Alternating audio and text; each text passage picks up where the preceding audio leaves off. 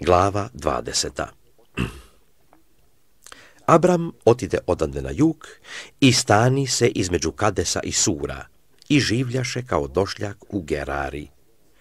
I govoraše za ženu svoju Saru, sestra mi je. A car Gerarski Abimeleh posla te uze Saru. Ali dođe Bog Abimelehu noću usnu i reče mu, gle, poginućeš sa žene koju si uzeo, jer ima muža. A Abimeleh ne biješe se nje dotakao i zato reče, gospode, edali ćeš i pravedan narod pokupiti?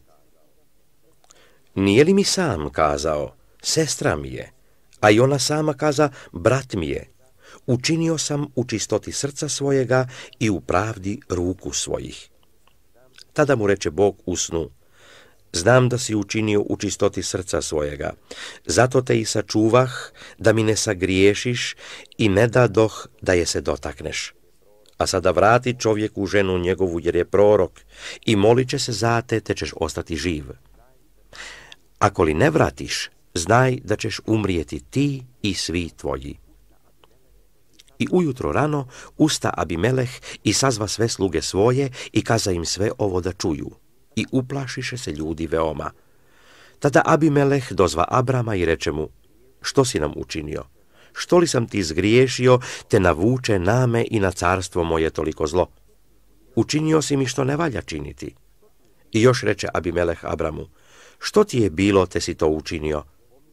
A Abram odgovori, pomislih, jamačno nema straha Božjega u ovom mjestu, pa će me ubiti radi žene moje. A upravo i jest mi sestra kći oca mojega, ali nije kći moje matere, pa pođe za me. A kad me Bog izvede iz doma oca mojega, ja joj rekoh, učini dobro i kaži za me gdje god dođemo, brat mi je. Tada Abimeleh uze ovaca i goveda i sluga i sluškinja, te dade Abramu i vrati mu Saru, ženu njegovu. I reče Abimeleh Abramu, evo, zemlja ti je moja otvorena, živi slobodno gdje ti je volja. A Sari reče, evo dao sam tvojemu bratu tisuću srebrnika. Gle, on ti je očima pokrivalo pred svima koji budu s tobom.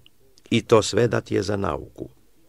I Abram se pomoli Bogu i iscijeli Bog Abimeleha i ženu njegovu i sluškinje njegove te rađahu. Jer gospod bješe sa svijem zatvorio svaku matericu u domu Abimelehovu radi Sare